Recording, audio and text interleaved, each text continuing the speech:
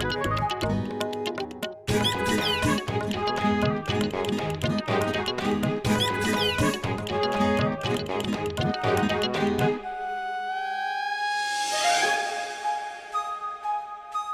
अरे अरे अरे, क्या कर रही हो ये?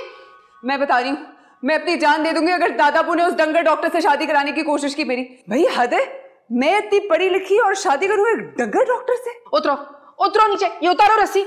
अरे तुम्हें अगर खुदकुशी करने का इतना ही शौक है तो बाहर जाकर किसी दरख्त से लटक जाओ। मेरा बेड क्यों तोड़ने लगी हो? अजीब माँ है आप। बेटी खुदकुशी करिए यहाँ पे और आपको अपने बेड की पड़ी है। हाँ तो जो चीज़ कीमती होगी बंदा उसी के बारे में सोचेगा ना। अरे इस बेड की लकड़ी मेरी अम्मा ने सवात के जंगलात से मंगवाई थी स्पेशली अखरोट की लकड़ी। बहुत कीमती होती है। बहू इसको बताओ कि ये लकड़ी ढूँढने के लिए मेरा अब्बा भी साथ गया था अब अब बंदरों का शिकार छोड़ के असली अखरोट ढूँढने के लिए। अजीब लोग हैं आप लोग। मेरी ज़िंदगी यहाँ सूली पे लटकी हुई है और आप लोगों को अपने बंदरों और अखरोट की पड़ी हुई है। तो किसने कहा है सूली पर लटको? देखो हमें एक नया रिश्ता मिला है। लड़का बाहर से आया है डॉक्टर है बहुत अच्छा है डंगर वंगर नहीं है।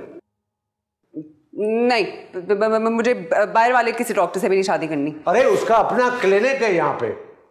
अच्छा देखो आ, आ, अगर तुम्हें कोई और लड़का पसंद है तो तुम उसको भी बुला लो। हम इसको बुला लेते हैं दोनों में टॉस करवा देंगे जो जीतेगा उसके साथ कर देंगे। ठीक है फिर मैं टीपू को बुला लेती हूँ। कौन?